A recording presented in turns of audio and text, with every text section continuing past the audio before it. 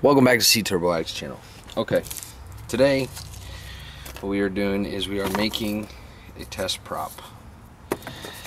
I uh, put my lower unit back together and um, I need to still work on setting my idle and everything and I found out from my last adventure that it was kind of a pain in the ass to try and do on the water to get all the base stuff set set up for me personally maybe for somebody else it's not at all um, but I'd much rather use a test tank at home and get my idle set up with the added back pressure.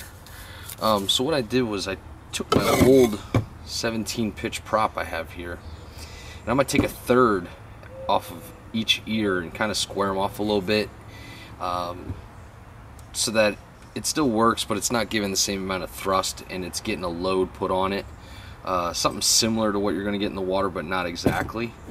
Um, so how I did this was I basically traced out one of the blades here and then marked out where I thought about a third was to kind of get rid of this nice point and and then cut that out and I traced it along each one so that now all these have a mark on them and I don't know if you can see that with the sunlight or not.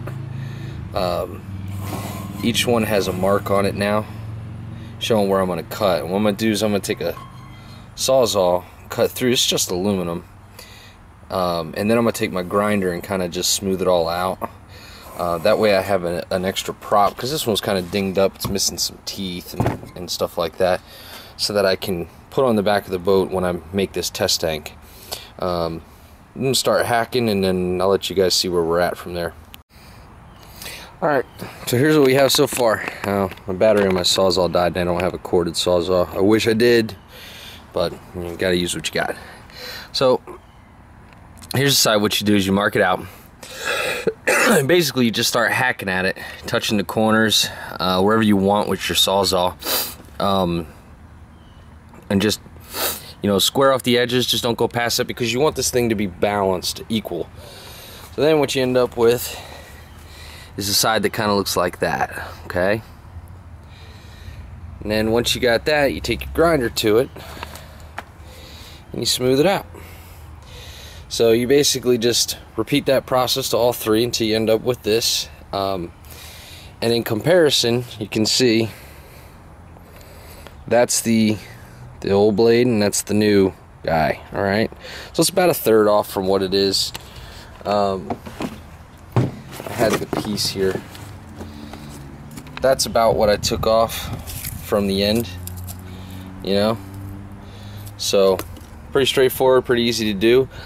Um, reason why you would want to do something like this is that they have test wheels and the the test wheels are um, they're normally for a certain horsepower. Uh, this will work on a wide range of motors. Um, it'll allow you to put it in a test tank without putting too much pressure into the from the thrust of the propeller and causing the water pump to cavitate and uh, next thing you know you're sucking air and you're running the thing dry and you're overheating your motor um, and it'll help you put a little bit of load on your on your motor to to find out where your you know your idle setting is and once you put it in gear um, it'll help you with those basic settings before you go out in the water and really really fine tune it all you know? So this is just a good way of doing it. If you got a spare one that's great. If not you know you can always buy a junk one for real cheap and hack it up like this. Um, and it'll work for all different motors that all have the same you know thing here. I'm gonna proceed on and I'll show you what it uh, looks like when I'm done. So here you have it. It's all shaved off and rounded off and the only other thing that I recommend that you do is you know paint the sucker. The ones that I've seen before had um, like an awkward color on it just so you know if it's sitting on your shelf what the hell it is it has nothing to do with anything else. You know that it's your test prop all the time. But I've got some nice metallic silver rust-oleum I'm gonna hit it with and call it done. Thanks for watching guys. Subscribe